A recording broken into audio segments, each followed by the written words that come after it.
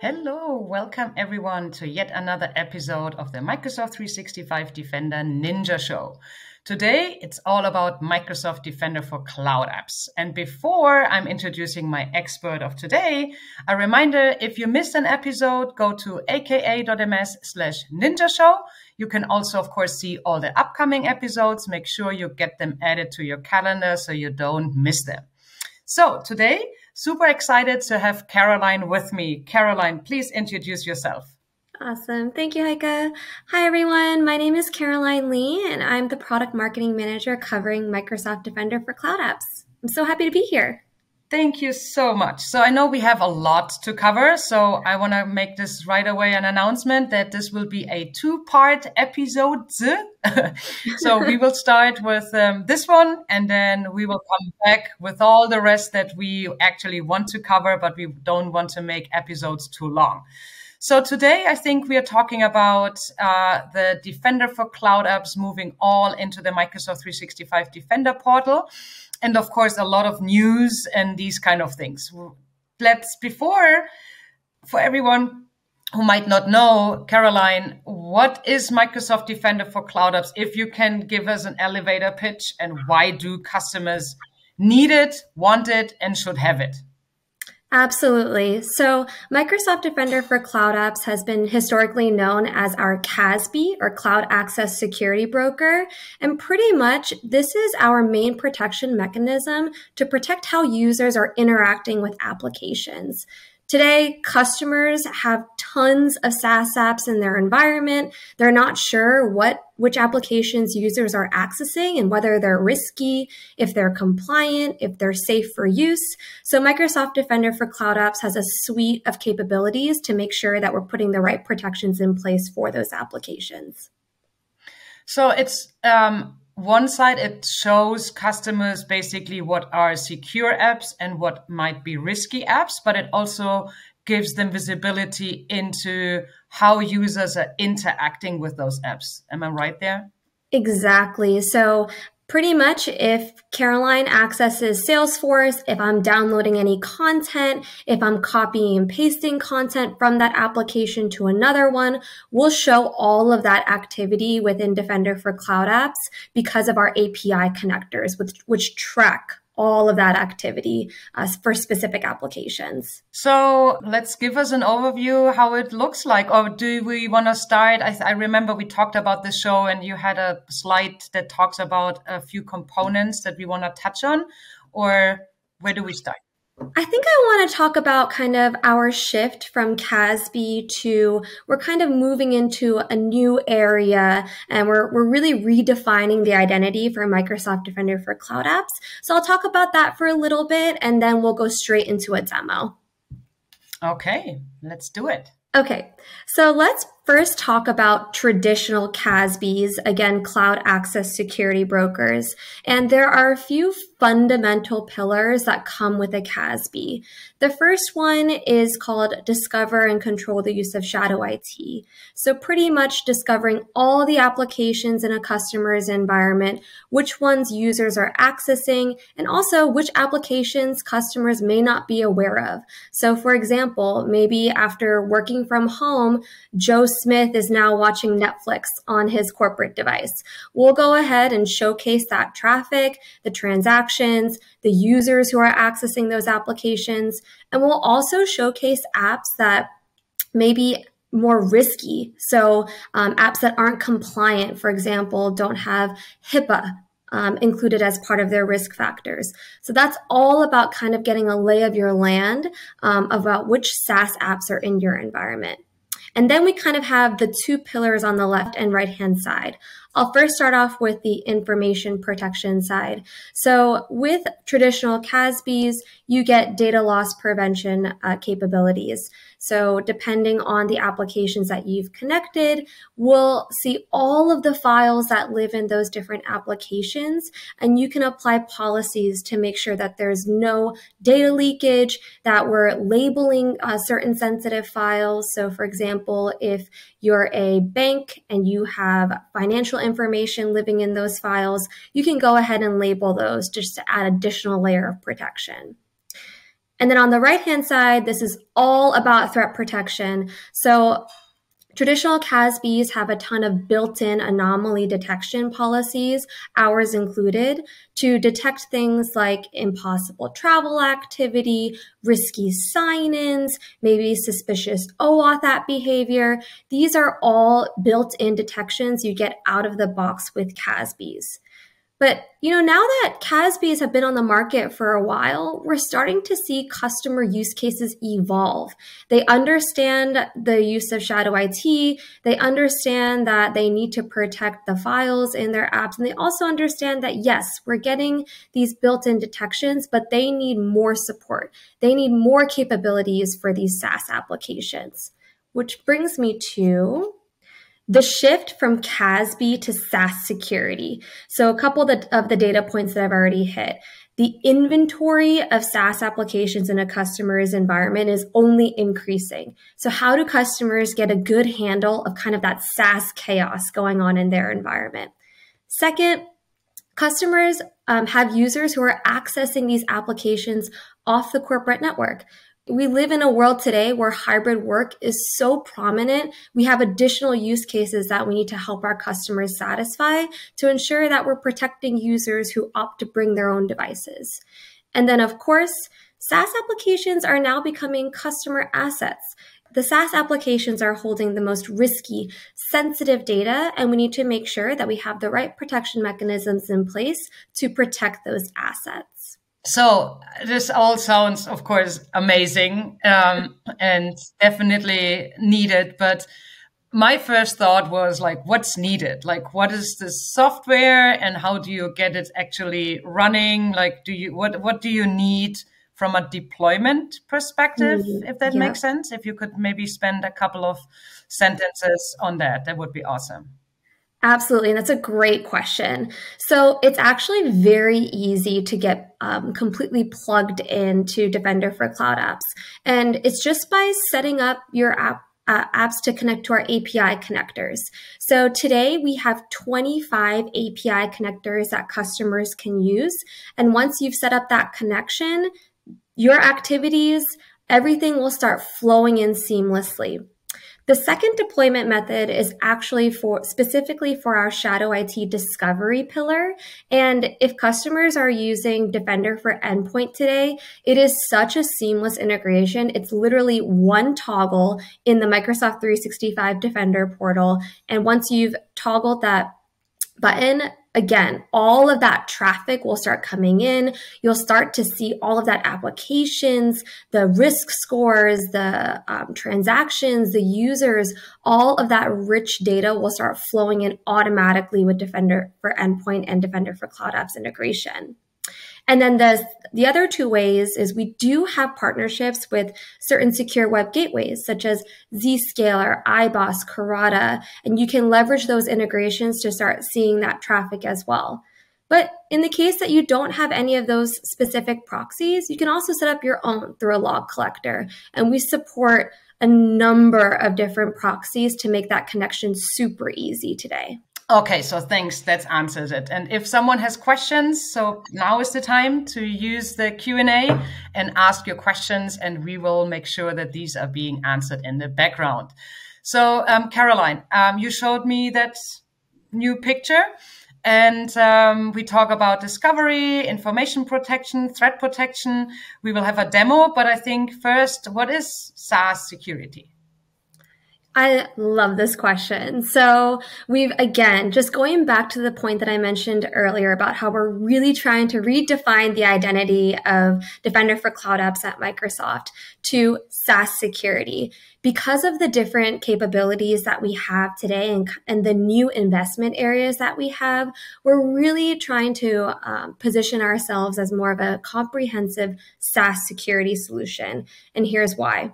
So after you've kind of discovered all of the different SaaS applications and gotten a good lay of your land through our discovery feature, the next one is SaaS Security Posture Management, also known as SSPM today on the market. This capability actually feeds directly within Microsoft Secure Score, straight within Microsoft 365 Defender, and it surfaces all of the misconfigurations within your applications. So for example, maybe a customer hasn't configured MFA for Salesforce. We'll surface that and we'll provide the remediation action so they can take action directly within that application. After SSPM is information protection. We kind of talked about this a little bit earlier, but again, once you've connected your applications to Defender for Cloud Apps, you can start seeing all of the files, your complete data exposure, and then, of course, create policies to protect the data inside those apps. And then continuous threat protection. So, in addition to the built in anomaly detection policies that we have today, by living within Microsoft 365 Defender, we get things like advanced hunting capabilities, the ability to build your own custom detections, um, the comfort of being able to see all of your different security workloads on a single pane of glass. This really takes our continuous threat protection capabilities to the next level.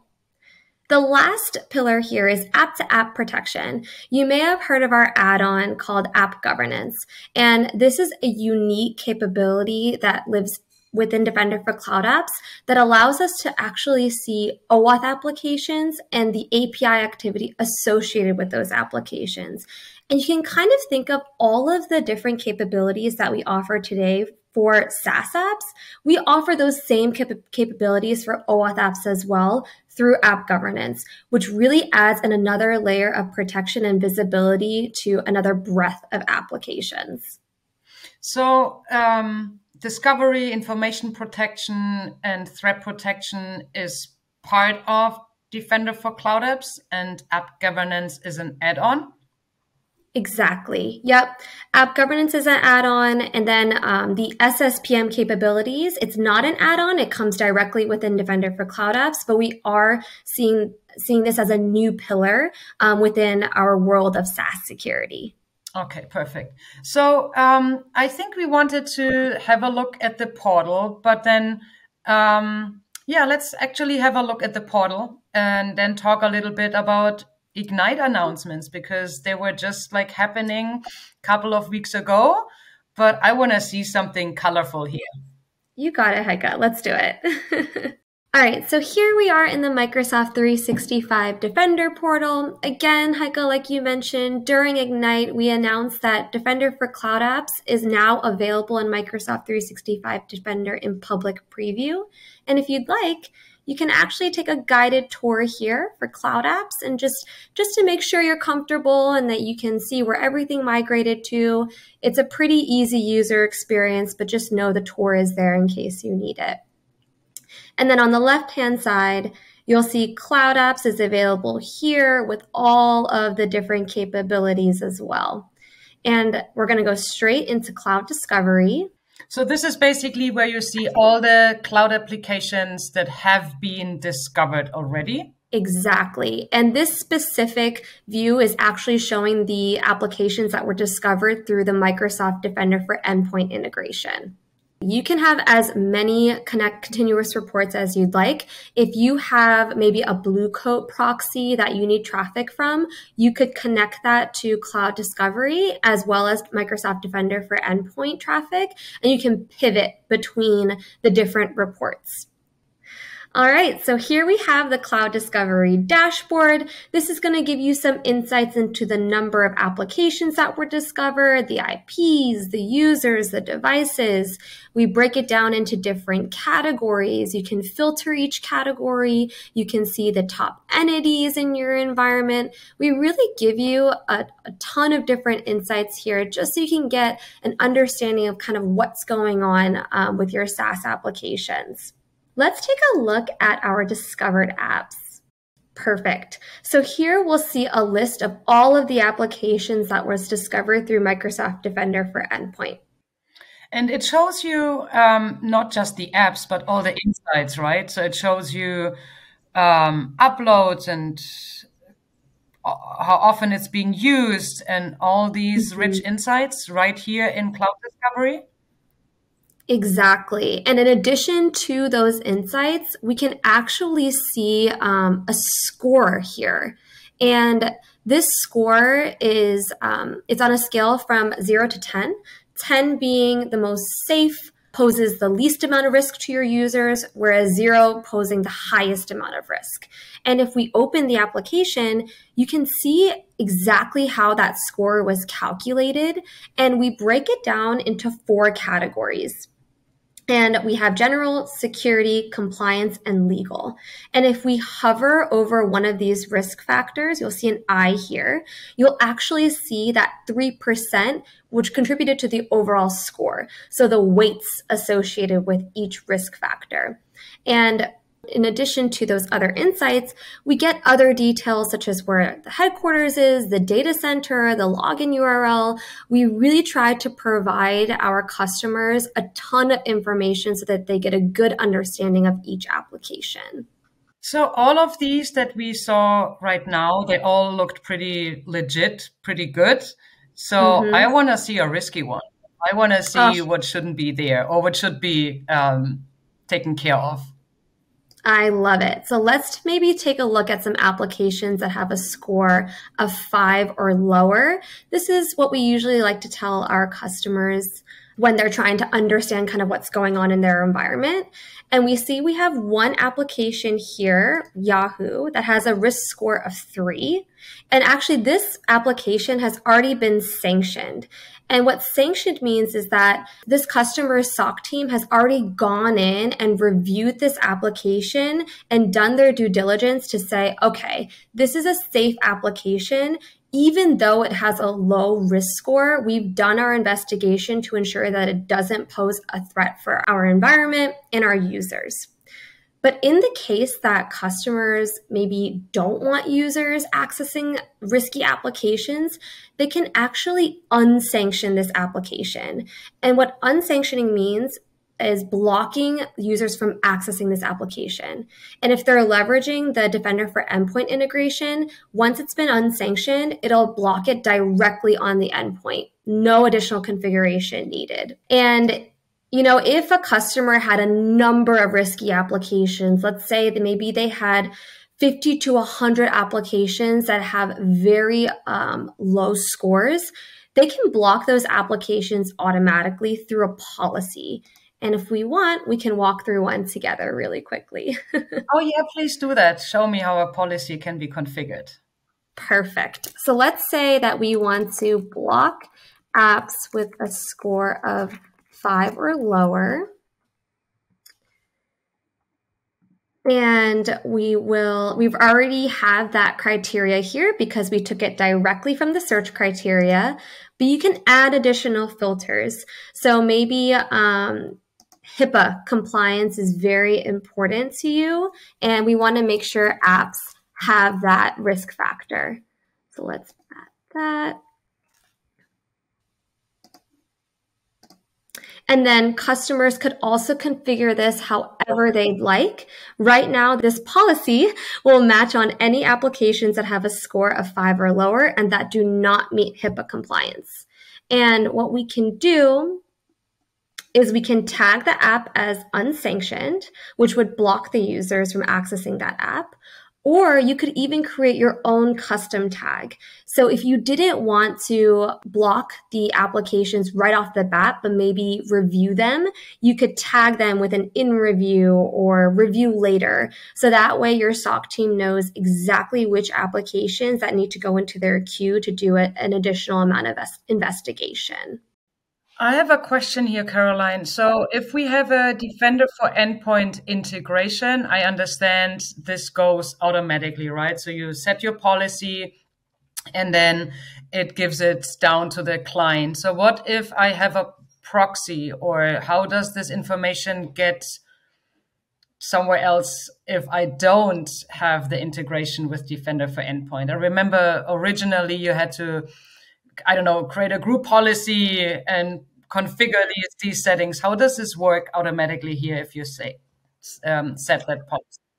I love this question. So if we actually go back to the cloud discovery dashboard, I know, Heike, you and I were chatting earlier about the different deployment methods. So, if a customer has opted to uh, deploy a log collector and um, to collect traffic from that Blue Coat proxy, what they would have to do is they could generate a block script. And this will um, this is a script. You select whichever proxy that you use, you generate it, and then you deploy it straight on your uh, Blue Coat proxy. And then that's how it would block the applications that have been marked unsanctioned.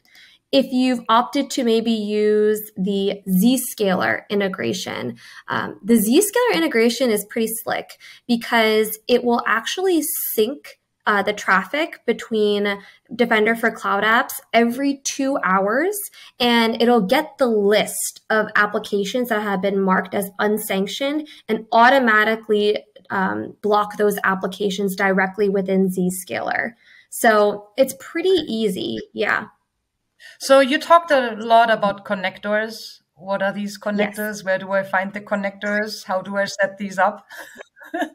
Great question. So if we go down to the settings here, you'll see that we have a Cloud Apps settings. And this is very similar to what we saw in the standalone portal. Nothing will be new here to our users, um, so there's no surprises. If we go down to app connectors, you'll see a list of all of your connected applications. And then, of course, here are our, all of our app connectors, and the setup is pretty much the same. Um, we can take Box, for example, and the interface may look a little bit different, but the actual configuration steps all the same. So again, no surprises. So why do I use this connector now?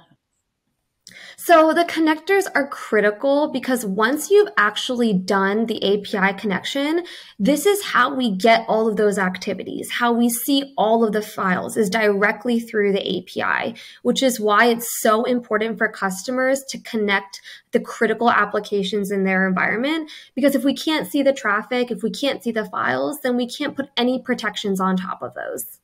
So the discovery works um, through HTTP, HTTPS discovery, I would assume. Just making it up. Mm-hmm. no worries. Um, once you see all the discovered apps and you want to get further details and insights, you actually need the connector to access the APIs and get those information. Is this correct? Exactly. So it's kind of a, a two part process, if you will. You discover all of the applications in your environment. And then for the ones that we actually have API connectors for, just like you said, connect those apps because you'll get an even deeper amount of insights for those specific applications using our API connectors.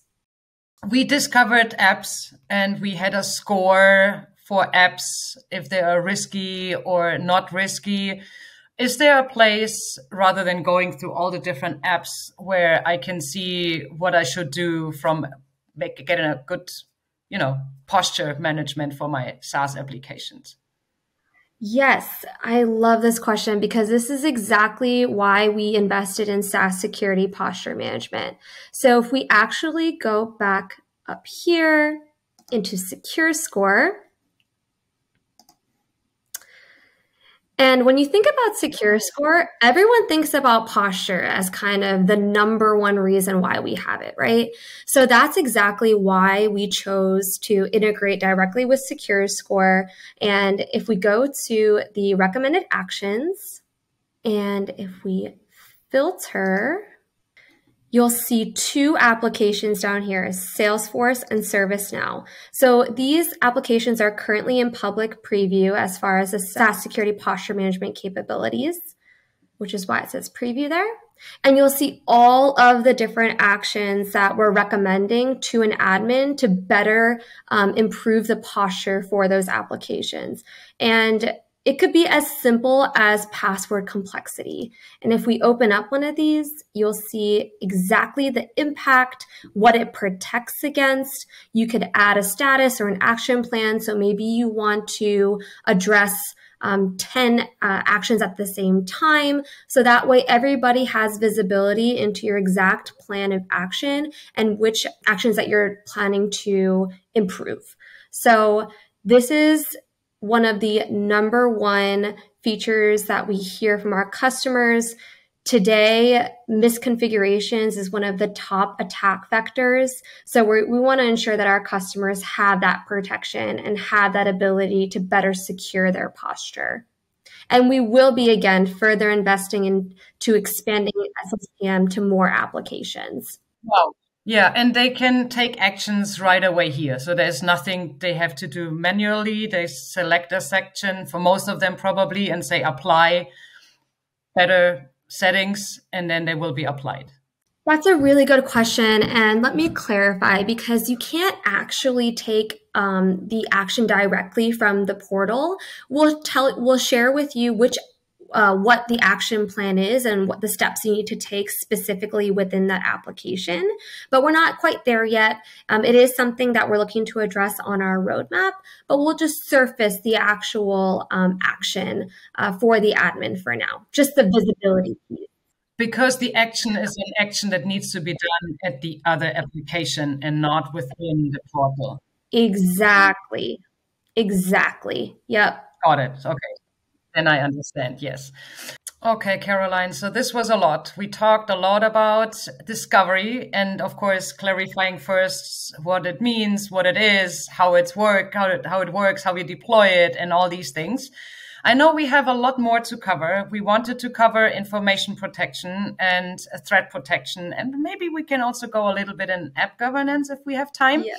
But this will be part two because we are, I think, a little over time. Uh, want yeah. to keep that short, but um, I think I can invite you again to talk to me about the rest of all the goodness that is part of Defender for Cloud Apps, right? That sounds amazing. I know I felt like we were a little ambitious this time, but we can def. I'm glad to come back for a part two, um, and we'll go through the rest it's of this amazing product. product. Yes. yes, it's a big product, has a lot of things. So you can't just like. Okay, so for now, thank you so much, Caroline, for being my expert on this show. And thanks for coming back for part number two. And everyone, thanks for watching. And don't miss part two, where we discuss all the things that we couldn't discuss today. If you have questions, feel free put them in the chat and we will still watch them and bring them over to the next show. If you missed an episode again aka.ms slash ninja show there's also share your voice um, on that page where you can give us feedback you can suggest future episodes topics that you would like to see. And with that thanks for watching and see you all soon. Bye